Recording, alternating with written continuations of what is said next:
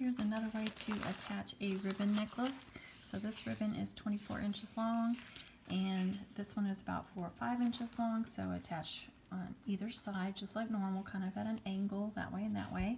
And then all you have to do is take this, which I did fold that over and glue this down. You want to use a good ribbon and you just run that through there and then run it like that and you just want to pin it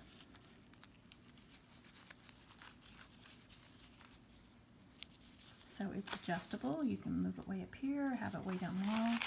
So it's going to be completely adjustable and so it'll be a really good fit. And that's a good ribbon again. You want to use a good ribbon not an acetate or something that will tear up easily